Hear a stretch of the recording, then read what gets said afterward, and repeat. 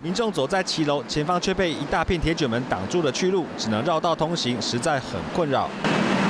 有屋主认为骑楼是自家房屋的延伸使用空间，常常摆放盆栽杂物，甚至用铁卷门将自家骑楼围了起来，当做自己的使用空间。税务局提醒，这样通通都会被课税。设摊营业了，或者是加装铁卷门，呃，把它封闭起来，不让人家通行的话，基于课税的公平，房屋税这根据它的房屋现值来课征。如果无偿开放骑楼提供公共通行，就不用被课征房屋税；但如果作为私人用途，税率就会依使用的情况而有所不。不同，譬如说，它营业就是课营业用的税率百分之三；如果它是住家使用，那它就是自住住家用使的税率百分之一点二来课征。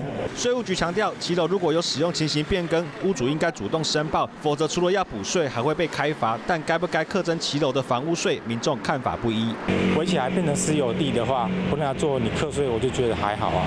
那如果是付钱的话，就我们自己使用，任何人都不可以过啊！真的是在抢钱啊！骑楼作为私人。用途除了会被课征房屋税之外，如果对置杂物妨碍交通，警方说将依法开罚。骑楼堆积、置放、设置或抛掷足以妨碍交通之物，处行为人或其雇主新台币一千两百元以上两千四百元以下罚款。